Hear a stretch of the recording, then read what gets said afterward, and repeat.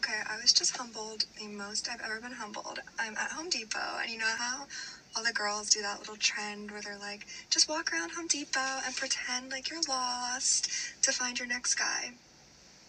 Literally, nobody helped me or even like approached me. I was there for an hour and I was just like kind of walking around. I had some stuff I actually had to pick up, but like,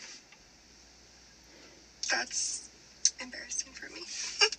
First of all, men at Home Depot are either working or just fixing their own home projects. They are not looking to add a project. So they are not just walking around sipping coffee and checking out women. But what all men would say at Home Depot is that if you need help as a woman, ask them because they will help you. But even then, they are not going to assume that you're interested in them. Which brings me to my last point. If you're interested in more than that and you actually want to go out with this man, just give him your number and just tell him flat out. Like, you're going to be successful.